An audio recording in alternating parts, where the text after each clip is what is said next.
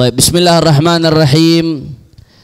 الحمد لله قال المصنف الشيخ سالم سمير الحضرمي رحمه الله تعالى ونفعنا به في الدارين آمين. بسم الله الرحمن الرحيم. الحمد لله رب العالمين وبه نستعين على أمور الدنيا والدين. وصلى الله وسلم على سيدنا محمد خاتم النبيين وعلى آله وصحبه أجمعين أما بعد. ولا حول ولا قوة إلا بالله العلي العظيم. Naam. Bismillahirrahmanirrahim. Muallif rahimahullahu taala sebelumnya kita bacakan Fatihah dulu buat pengarang kitab namanya Syekh Salim Sumir. Safinatun Najah ini kitab terkenal, dibaca di mana-mana. Tapi banyak yang nggak tahu nama muallifnya. Nama muallifnya Syekh Salim Sumir. Nah, mengetahui nama muallif itu sudah sebagian daripada il ilmu. Jangan kita belajar kitab berminggu-minggu, bertahun-tahun, tapi begitu ditanya kitabnya kitab apa? Safina. Yang ngarang siapa? Kagak tahu. Jangan, itu jelek, nggak bagus. Kita ngambil ilmu, mesti tahu kita ngambil ilmu dari siapa. Nah, nama muallif Safinatun Najah, Syekh Salim Sumer. Nah, kita baca Fatihah dulu untuk beliau dikuburin di Jakarta. Saya lupa nggak tahu persisnya di mana. Saya dengar dulu di Said Naum sebelum digusur. Nah, Said Naum itu sebelum digusur dulu zaman Ali Sadikin penggusuran itu banyak membuat marah para habaib, para alim ulama pada saat itu itu di situ banyak dikubur para aulia Allah. Banyak dikubur para habaib, banyak dikubur para syiban. Termasuk yang dikubur di situ Mufti Jakarta. Al-Habib Uthman bin Yahya. Kakek dari Umi Fadlun. Umi Fadlun, istri dari imam besar. Habib Uthman bin Yahya itu dulu dikuburnya di Tenabang tuh yang sekarang jadi Said Naum sebelum digusur. Pindahnya ke mana Beb? Hakikatnya nggak ada yang tahu. Wallahu alam yang sebenarnya pindah di mana. Ada yang bilang ke sini, ada yang bilang ke situ, tapi yang sebenarnya wallahu nah, saya dengar termasuk yang dikubur di di Said Naum itu Syekh Salim Sumer dulunya. Banyak para habaib dulu yang dikubur di situ. Ayah Diding mungkin ngalamin kali kuburan di Said Naum tuh sebelum digusur. Nah, itu cukup membuat marah pada habaib pada zamannya para ulama pada saat itu.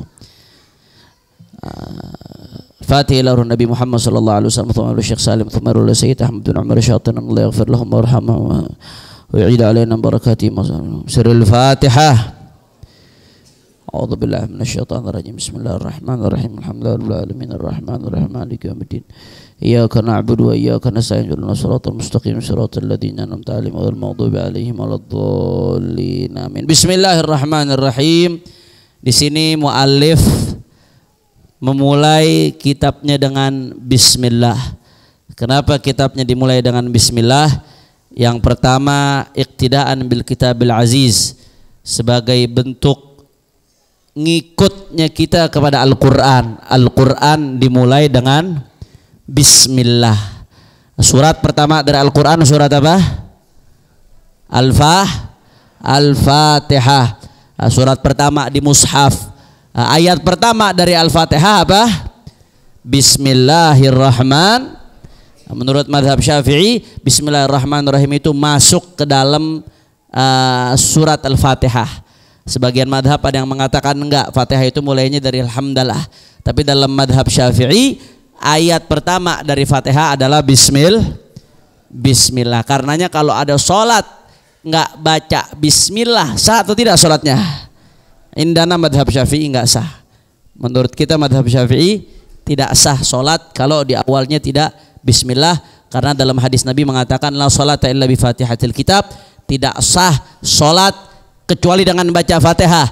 Sedangkan termasuk bagian dari Fatihah menurut madhab Syafi'i adalah Bismillahirrahmanirrahim. Itu termasuk bagian dari Fatihah. Sehingga menurut madhab Syafi'i tidak sah sholat tanpa baca Bismillah di awal Fatihah. Kira-kira jelas atau tidak? Nah, tapi ada madhab lain dari madhabul arba'ah. Dari madhabul arba'ah ada juga yang mengatakan Bismillah itu bukan bagian dari Fatihah dia cuma di mushaf aja dituangkan tapi bukan bagian dari Fatihah sehingga nggak wajib dibaca ketika Fatihah makanya ada sebagian-sebagian yang nggak pakai madhab syafi'i kalau sholat mulainya Alhamdulillahi Rabbil Alamin dia nggak baca bismillah langsung alhamdulillah. Sah apa nggak beb sholatnya? Dia sah menurut madhabnya. Nah, kalau kita bermakmum sama dia gimana beb? Sah atau tidak? Nah, dalam madhab syafi'i ada dua pendapat. Ada pendapat ulama yang mengatakan al-ibrah bi'tiqadil ma'mum. Ada pendapat kedua yang mengatakan al-ibrah bi'tiqadil imam. Kalau menurut imam itu sah, walaupun menurut kita kagak sah, tapi kita tetap sah bermakmum sama dia. Nah, nggak perlu nyalain. Kalau ada yang nggak baca bismillah nggak perlu nyalain. Tapi kita sebagai pengikut madhab syafi'i, kita wajib di awal Fatihah membaca bismil bismillah. Adapun bismillah bagian dari Al-Qur'an nggak ada perbedaan di antara ulama. Di Al-Qur'an ada memang bismillah di tengah-tengah Al-Qur'an. Apa innahu min Sulaiman wa innahu min bismillahirrahmanirrahim. Itu ada ayat seperti itu. Bismillah ada di tengah-tengah Al-Qur'an. Tapi apakah bismillah ada di setiap awal surat? Menurut madhab Syafi'i na'am. Bismillah itu ada di setiap awal surat ah, termasuk di awal surat Fatih Fatihah. Kira-kira jelas atau tidak? Insya Insya Allah. Jadi pertama kenapa mualif dalam mengarang kitab semuanya biasanya awalnya pasti Bismillahirrahmanirrahim dulu. Yang pertama iktidaan bil kitabil aziz.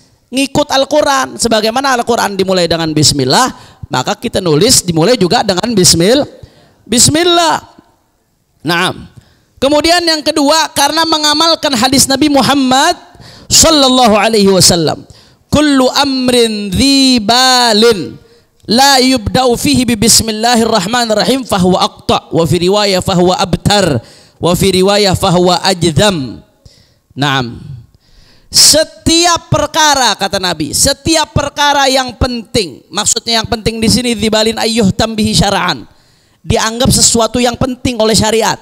Dianggap sesuatu yang baik seperti nulis kitab. Nulis kitab ini bagi syariat sesuatu yang baik atau tidak? Bernilai atau tidak? Bagus atau tidak? Nah segala sesuatu yang bagus kata Nabi Muhammad kalau tidak dimulai dengan Bismillahirrahmanirrahim maka fahuwa abtar fahuwa agta fahuwa ajdam. Apa artinya? Ay maktu'ul barokah. Terputus barokahnya kurang ber berkah. Makanya para ulama mereka kalau nulis diawali dengan Bismillahirrahmanirrahim Bismillahirrahmanirrahim. Nah, Bismillah ini apa sih Beb? Hukumnya baca Bismillah terlepas dari kalau di dalam kitab. Terlepas dari dalam konteks orang yang nulis kitab. Hukum baca Bismillah ini apa? Nah, kita kan tahunya hukum baca Bismillah apa? Hah? Tahunya hukum baca Bismillah apa? Nah, ternyata hukum baca bismillah ada lima hukum. Ada berapa? Ada lima hukum. Nah, makanya bawa pulpen. Lu ngaji pada kagak bawa pulpen. Udah kayak sekali dengar langsung apa? Bawa pulpen, bawa buku. Nah, apa namanya?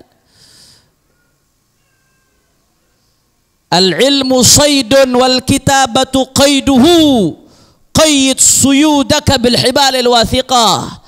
Kata ulama, ilmu itu ibarat sayd, barang dagangan. Wal kitabatu qayduhu. Sedangkan bukan barang dagangan, buruan, sayd, buruan. Wal kitabatu qayduhu sedangkan pulpen tulisan itu adalah qaidnya. Apa qaid? tali buat ngikat. Kita begitu buru nih udah ngejar, rusak setengah mati dikejar-kejar, sampai kaki pada copot. Begitu ketangkep perusahaannya kagak diikat, kira-kira goblok apa kagak tuh? Itu bukan goblok lagi, double otaknya. Nah itu udah ngaji jauh-jauh dari rumah sampai kemari. Ustadz udah belajar jauh-jauh ke Yaman, saya belajar lima tahun sampai perang-perang di sono, belajar di Bangil enam tahun. Sampai kadang-kadang duit bulanan habis. Makan cuma pakai nasi sama kecap doang. Udah setengah mati nih Ustadz belajar, murid datang jauh-jauh. Begitu Ustadz ngejelasin kagak dicatat ye. Itu namanya kebanyakan makan micin saudara. Kira-kira jelas atau tidak? Pokoknya saya kagak mau tahu. Pertemuan berikutnya semua bawa pul. Bawa bu. Pelit banget beli buku kagak bisa, ngerokok pada bisa. Uh, pelit banget beli buku kagak bisa ngevape pada bisa itu uh, Masya Allah bawa buku pertemuan berikutnya jadi hukum baca bismillah ada berapa? ada lima yang pertama ada kalanya hukum baca bismillah itu wajib Yang kedua ada kalanya hukum baca bismillah jadi haram. Ada kalanya hukum bismillah jadi baca bismillah jadi sunnah. Ada kalanya hukum baca bismillah jadi makruh. Ada kalanya juga hukum baca bismillah jadi muh mubah. Ada berapa? Yang pertama hukumnya yang kedua yang ketiga sunnah yang keempat makruh yang kelima. Kapan bismillah jadi wajib? Contohnya salah satunya bismillah jadi wajib dalam soh sholat. Hukum baca bismillah dalam sholat tadi saya sudah jelaskan hukumnya apa? Kalau nggak baca bismillah batal apakah gak sholatnya? Batal nggak sah. Nah, ini yang pertama. Hukum baca bismillah hukumnya wah wajib. Kapan? Ketika dalam sholat. Baca bismillah jadi wajib hukumnya. Yang kedua ada kalanya baca bismillah haram. Loh kebisa beb? Bismillah baca bismillah haram? Kok bisa beb baca bismillah hukumnya haram?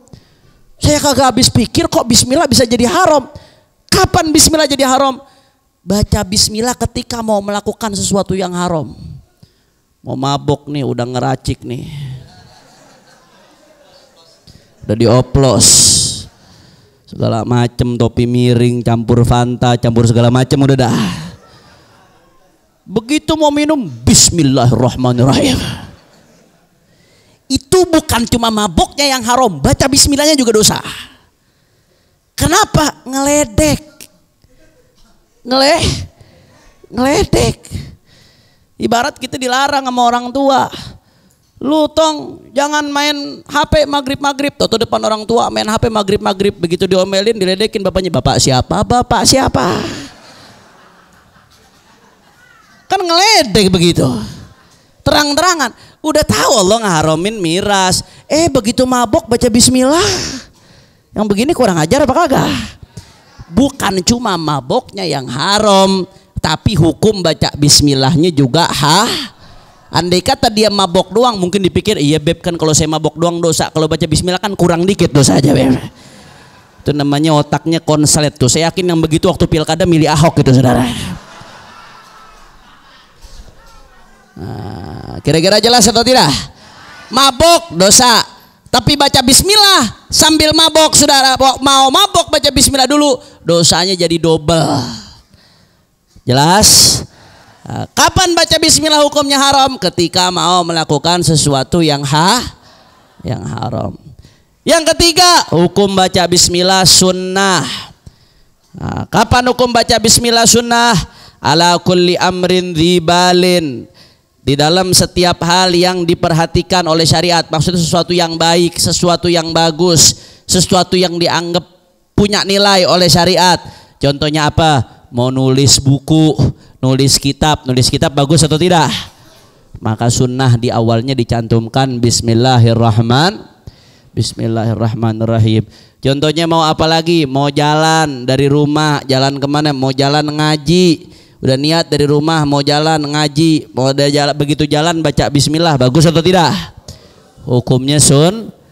Mau cari nafkah, cari nafkah bagus atau tidak? Bagus atau tidak?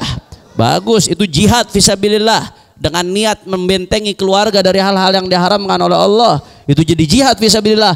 Begitu keluar rumah baca bismillah tawakkaltu ala Allah la haula wala quwata illa billah. Itu hukumnya jadi sun hukumnya jadi sunnah. Kira-kira jelas atau tidak? Insya insya Allah. Nah kemudian yang ketiga wal karahah alal makruh lidzatih yang keempat Masya Allah bagus tuh yang keempat makruh. Makruh. Kapan hukum baca bismillah jadi makruh? Ketika melakukan sesuatu yang hukumnya makruh. Ketika melakukan sesuatu yang hukumnya makruh. Contoh sesuatu yang hukumnya makruh apa? Haram. Taruh lah, taruh rokok makruh. Ambil, anggap, anggap ambil pendapat yang mengatakan makruh. Anggaplah Ulama beda-beda pendapat, ada yang mengharamkan, ada yang mengatakan mak, nggak ada yang mengatakan sunnah, nggak ada. Gue getok pala lo. Nah, kalau nggak haram ya mak, Makruh. Mubah aja kelihatannya bait, ya bait. Makruh. Makruh itu artinya apa? Makruh dapat dosa apa kagak? Nggak dapat dosa. Tapi artinya makruh apa? Diben kan kagak enak dibenci. Betul betul. Jangankan dibenci, dicemberutin aja kagak enak, apalagi di PHP ya saudara. Kadang-kadang orang ngentengin ngelakuin yang makruh. Taruhlah rokok makruh, taruh, taruh. Ngambil pendapat yang mengatakan rokok makruh. Mau ngerokok, Bismillahirrahmanirrahim. Baca Bismillahnya hukumnya mak makruh. Jadi bukan cuma rokoknya yang makruh, tapi baca Bismillahnya hukumnya juga mak lebih baik ditinggalin daripada dilakukan. Kira-kira jelas atau tidak? Jadi kapan baca bismillah hukumnya jadi makruh? Ketika melakukan sesuatu yang makruh. Yang ke lima ah, baca bismillah hukumnya apa? Mubah. Mubah. Kapan baca bismillah hukumnya mubah? Ketika melakukan sesuatu yang mubah. Contohnya apa? Mindahin barang. Saya mindahin HP-nya Ustad tadi Ustad Alwi anda dari kecil lihat beliau tapi nggak pernah bisa bedain sampai sekarang. Masya Allah. Mindahin barang Ustad HP-nya Ustad tadi dari sini kemari dengan seizin beliau. Hukumnya boleh apa kagak? Kalau tanpa seizin beliau hukumnya haram. Gosop itu namanya.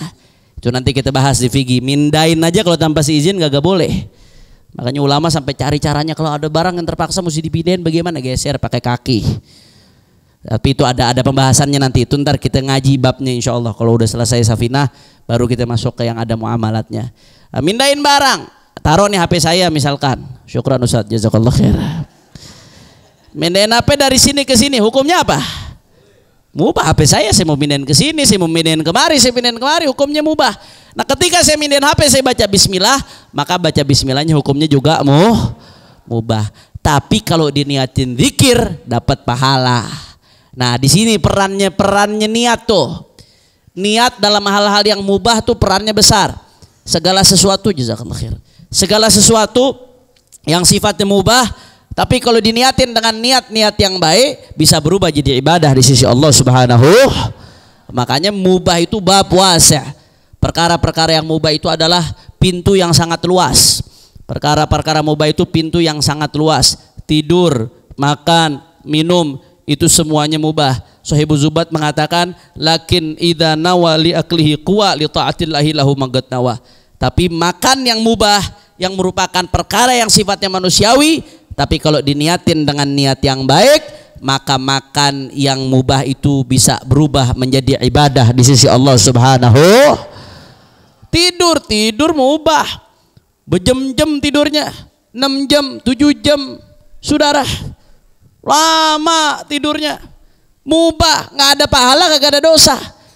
Tapi cuma dengan niat sebelum tidur saya niat dengan tidur ini besok pagi saya bisa bangun subuh bisa sholat seger beribadah bantu orang tua. Kemudian saya bisa belajar setelah itu. Tidurnya mubah tapi gara-gara niat yang baik tidur yang mubah tersebut cuma merem dalam tujuh jam semuanya menjadi pahala di sisi Allah subhanahu. Kira-kira jelas atau tidak? Makanya ingat-ingat niat karena aslafun salihun yu'allimuna auladahumun niat kama yu'allimunahumul fatihah ulama-ulama salaf mereka ajarkan anak-anak mereka niat tancepin niat yang kuat sebagaimana mereka ajarkan anak-anak mereka al-fatihah kita kalau ngajarin anak fatihah mesti ngelotok betul Musi sekiranya dia apal dibulak balikin tuh kagak lupa. Itu kalau ngapalin Fatihah, Saudara. Di sini ada nggak yang nggak apal Fatihah? Hah? Biar kata bulak balik apa? Mau dari awal ke akhir, akhir ke awal. Kalau diusahain bisa pasti. Itu ngapalin Fatihah. Nah ulama-ulama terdahulu ngajarkan anak-anak mereka niat sebagaimana mereka ajarkan anak-anak anak mereka Fatihah. Anak-anak mereka sampai terbiasa setiap mau melakukan sesuatu yang mubah mereka niatkan dengan niat-niat yang baik sehingga dengan power of niat dengan kekuatan niat perbuatan yang mubah menjadi pahala di sisi Allah Subhanahu kira-kira sampai sini jelas atau tidak insya insya Allah kalau begitu saya mau tanya kesimpulannya hukum fatihah ada berapa yang pertama wajib kapan fatihah wajib Contohnya saat soh sholat. Yang kedua haram. Kapan Fatihah haram? Ketika melakukan sesuatu yang yang haram. Yang ketiga sunnah. Kapan Fatihah jadi sunnah? Ketika melakukan sesuatu yang baik. Sesuatu yang yang baik. Yang keempat makruh. Kapan Fatihah eh, Fatihah itu bismillah jadi makruh? Ketika melakukan sesuatu yang makruh dan yang kelima mubah. Kapan eh, bismillah jadi mubah? Ketika melakukan sesuatu yang yang mubah. Mudah-mudahan yang sedikit ini bisa bermanfaat. Uh, dilanjutkan burdahnya dan nanti insya Allah akan dilanjutkan oleh guru-guru kita. Uh, jadi saya minta kalau bisa jamaah dari awal hadir burdah dan niatkan juga dengan burdah mudah-mudahan perjuangan kita diberikan kemenangan oleh Allah. Karena yang saya dengar dari sebagian ulama burdah itu punya hisin seperti hisinnya hizib-hizib itu. Hisin yang diberikan oleh Allah dengan wasilahnya burdah itu sebagaimana kita baca hizib-hizib yang minta hisin sama Allah seperti hizib syadili, hizibul bahar, hizbun nasr. Ah, burda tuh manfaatnya buat itu juga. Makanya niatnya setiap baca burda niatin mudah-mudahan imam besar kita dijaga oleh Allah. Mudah-mudahan FPI dijaga oleh Allah. Mudah-mudahan perjuangan umat Islam diberikan kemenangan oleh Allah. Amin ya rabbal alamin. Nah, ini sekian hari ini pembahasan hari ini cuma satu, hukumnya bismil bismillah. Makanya rugi yang nggak bawa pulpen, nggak bawa buku, rugi. Rugi ilmu yang kita dapatkan insya Allah bisa bermanfaat sampai akhir hayat insya Allah. Ini saja dari saya. Lebih kurangnya mohon maaf. Warahmatullahi wabarakatuh.